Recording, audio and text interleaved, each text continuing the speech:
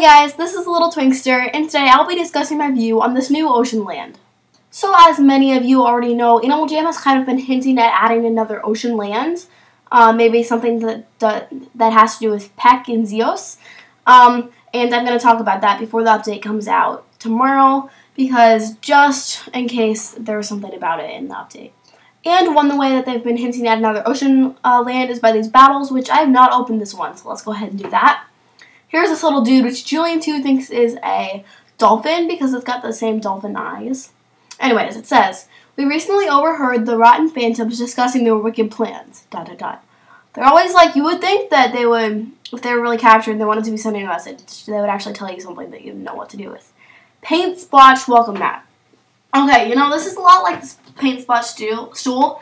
It seems to be hinting something like Peck, because she's the creative one, or maybe the toucans, because they're creative too possibly if Peck did betray us, um, or if she was out of the game for a while, if she was captured or something, the toucans would replace her. Now, I really don't think that Animal Jam would uh, betray her in this game because, you know, it's, it's still a kid's game. I don't think they'd do that to themselves. Uh, but she might be out of the picture for a while.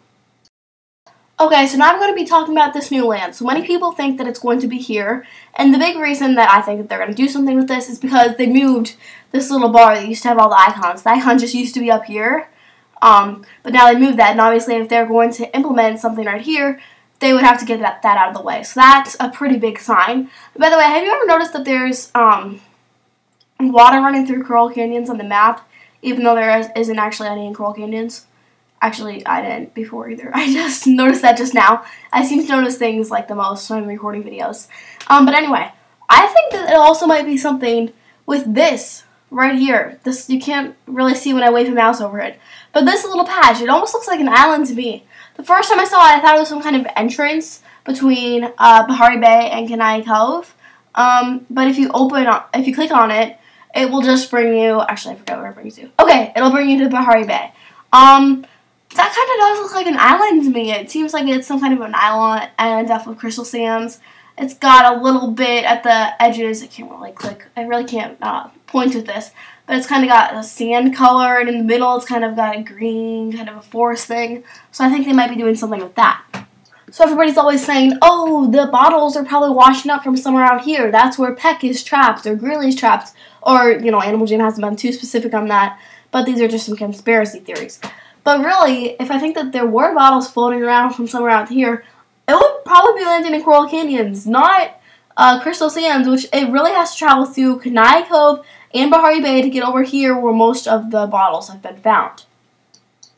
So I am thinking maybe that instead of opening something up in here, which I do still believe that they will do eventually because of the because of the fact that they moved this, but I think that they'll open it up in this little island instead. And still on the topic of the oceans, I'm going to talk about the one that I think is the most populated, or the one that gets the most visits each day, and that would be the Deep Blue. And here's why. So, you know, sometimes you'll be clicking on your world map, and sometimes you'll accidentally double click it or something, and your mouse will still be on here, so it'll bring you right to the Deep Blue. I haven't told you how many times I've had to stop recording because I've accidentally done this. So I do think that the Deep Blue gets plenty of accidental visits a day. Okay, so that's pretty much all I want to say, but before I end up the video, I just want to mention something else. So in Jam Mart Furniture, I was here talking with my buddy, Luas Seal. Uh, she's one of my subscribers. I'm subscribed to her. She has a YouTube channel too. Uh, you know, while I'm talking about her, I might as well link her channel in the description. Anyways, so I was in here talking with her, and I kind of noticed this little sign. It says sale, and I did enlarge this uh, in a Google presentation thing. So I enlarged this to see what it says, and it says, everything you need for your den. Uh, so this little sign, I'm like, oh, that's cool. I never really noticed that before. I wonder what that says. And I go up and look at it, and look at this. You can walk right behind it, actually. Like, this is a, a layering glitch right here. I mean, it's not all this, that's not um, all that big, but I figured I might as well involve it in this video for you guys. So anyways, guys, thank you for watching.